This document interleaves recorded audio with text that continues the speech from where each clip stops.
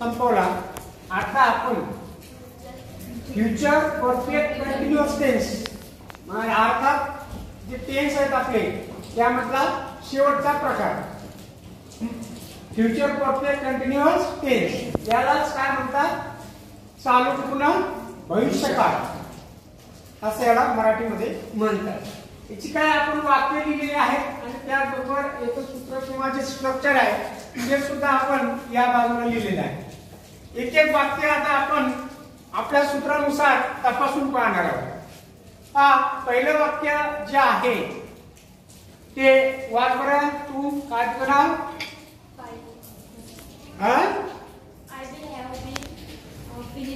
work. I will have been. वर सांग आता वाक्य जे आहे आपलं हे वाक्य आपल्या सूत्रानुसार आहे का? बर काय इथं? यस विल काय ऑक्झिलरी वर्ड त्यानंतर काय? विल हॅव बीन त्यानंतर? व्ही आय एन जी त्यानंतर? Object, object. Object, object. Object. काय पहा what I will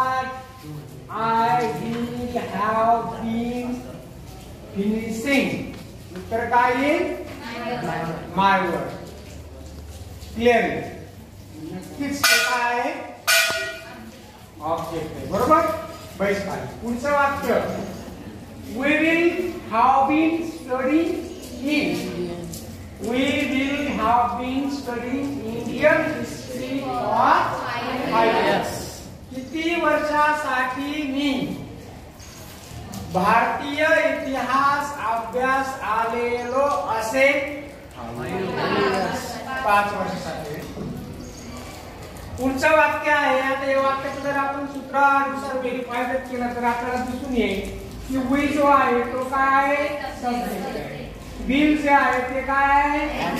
बरोबर. नियमानुसार हॅव बीन Have been. घेतलेलं आहे त्याच्या पुढे काय व्ही आय. म्हणजे क्रियापदाला व्ही आय एन आहे. त्याला प्रेझेंट पार्टिसिपल असं सुद्धा म्हणतात. आणि त्याचबरोबर इंडियन हिस्ट्री काय? इंडियन हिस्ट्री हे जे आहे हे काय? ऑब्जेक्ट आहे. आणि बाकीचा जो राहिलेला भाग आहे त्याला आपण काय म्हणणार आहोत? कॉम्प्लिमेंट बरोबर? पुढचं वाक्य आहे you will have been going to काटोळे सांग वाक्यामध्ये पटापट सांग घटक. यस प्लस विल हे काय? नियमानुसार हॅव बीन आणि गोइंग काय? B I N G to school काय. काय? आता का कन्फ्यूज झाला नाही तू मग सांगतो तुला आता काय आहे ते. बरं का? नमुने? बस झाले? चार नंबर. कोण वाचणार आता? हा वाचतो They will have been learning French language. हा. ते काय करत आलेले असतील? French language. शिकत फ्रेंच. भाषा शिकत आलेले. असतील. त्यावेळी. कसा काय? वाक्यामध्ये जे subject he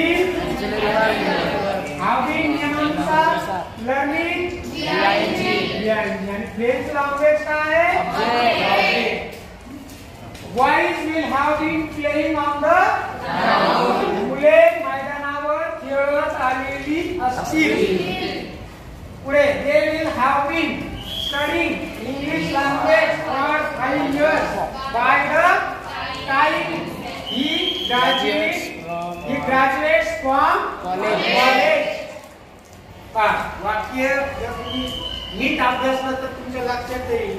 By the time he graduate from College. College तो पदवीधर होईपर्यंत इंग्रजी भाषा पाच वर्षासाठी तो अभ्यासत आलेला असेल असेल तो लक्षात पुन्हा वाक्य वाक्यात कालखंड दिलेला आहे. किती वर्षाचा? पाच वर्षाचा. म्हणजे त्याला अभ्यासता इंग्रजी भाषा अभ्यासता अभ्यासता. किती वर्षाचा कालखंड लोटलेला असेल? पाच वर्षाचा. पुढा पाय he will have been study English for five years by the time he graduate from college काय अर्थ होईल मराठीमध्ये वाक्याचा कोण सांगू शकत?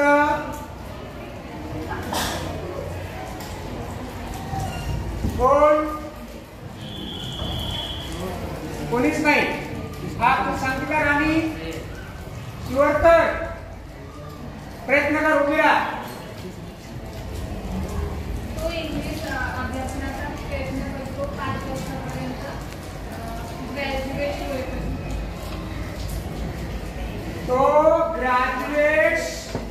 पदवीधर.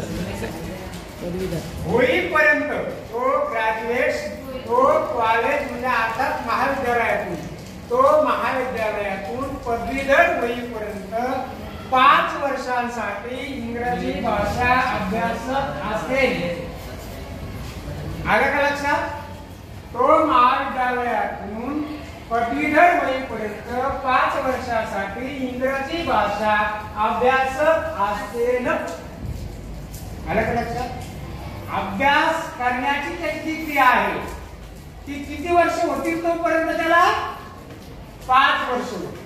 आलं लक्षामध्ये?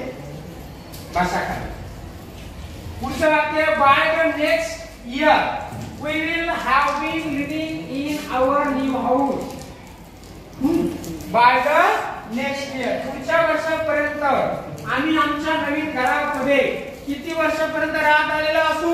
दोन दोन वर्षापर्यंत. अगदी शेवटचं वाक्य. आठ नंबरचं. They will have been married for ten years by the time they celebrate their anniversary next month कोणता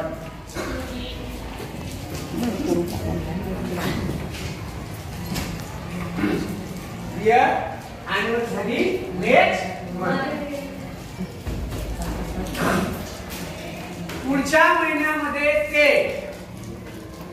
त्यांची अॅनिव्हर्सरी साजरी करतील तोपर्यंत त्यांच्या लग्नाला किती वर्ष पूर्ण झालेली असतील?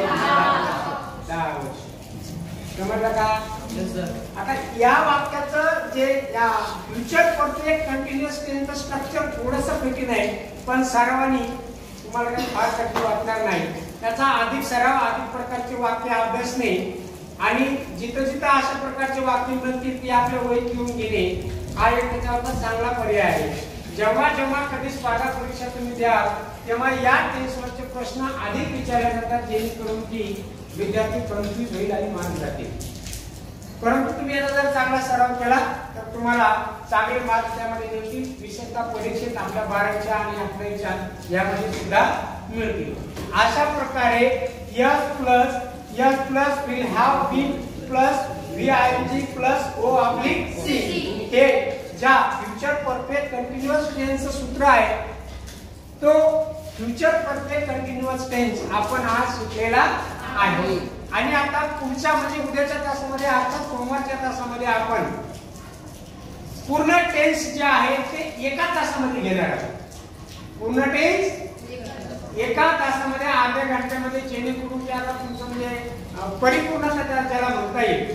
किंवा एका वेळेस सगळे जे काय टेन्स आहेत बारा प्रकारचे तुमच्या लक्षात राहावे म्हणून आपण ते आता पुढच्या सोमवारच्या तासात घेणार आहोत. आणि त्यानंतर आता रोज ग्रामर शिकवणं होणार नाही. मंगळवारपासून आपण आपला अभ्यासक्रम सुरू करणार आहोत आणि ग्रामरचा जो तास आहे तो फक्त प्रत्येक शनिवारी होईल. ठीक आहे? Okay I stop